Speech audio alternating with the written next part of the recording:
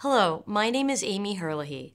I am an upper school teacher at Worcester Academy, and I teach world history to sophomores.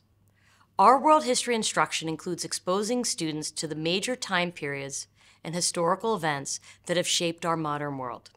But I'm always looking for opportunities to delve deeper into a region or topic or to share someone's story because I find that the personal experiences have more of a lasting impact on the students. Last fall, Aekem Singh shared with me the synopsis of the Baywatana documentary. After I watched the trailer, I knew I had to share this important story with my students so the students could learn about the plight of the Sikh and Hindu communities in Afghanistan.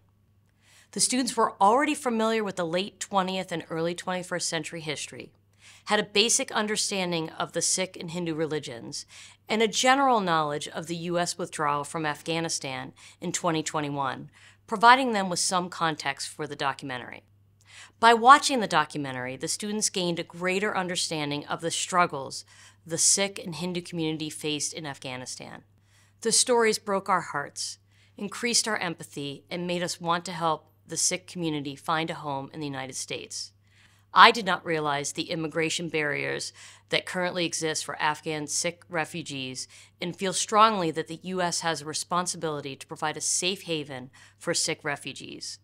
The students wrote reflections on the documentary, which reveal how this documentary helped bridge a cultural gap between our students and a civilization that lives halfway around the world.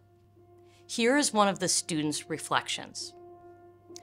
I often hear statistics like death and injury tolls about religious persecution, but the narratives were personal. People were faces in the stories, and not just numbers. It helped me grasp the horrors of religious persecution. The man slowly recounting his experience made me much more empathetic. When he spoke about worrying for his family and not knowing what was happening to them, I also became worried, and the end of the story made the point stick even harder. To continue his quote, people often only hear death tolls and injury tolls when learning of religious persecution. The personal stories feel like a conversation and foster a connection between the viewer and the storyteller. The stories send a message that these events aren't simply a small segment on the news, but impact people greatly it helps frame the situation in people's minds. End of his quote. Hearing the firsthand accounts of the Afghan Sikh community is critical to bringing awareness to the next generation of leaders who can make a difference in our world.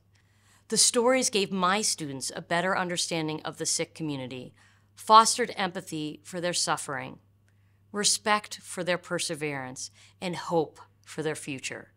Baywatana truly left an indelible impact on my students and me. And I look forward to learning more about the Sikh experiences as they settle into the United States and Canada in future documentaries from Nishkam TV. Thank you.